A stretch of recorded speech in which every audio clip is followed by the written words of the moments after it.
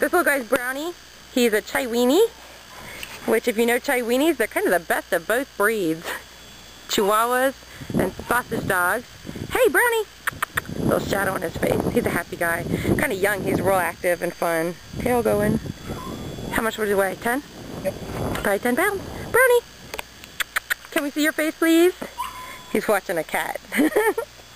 he thinks that cat might be delicious.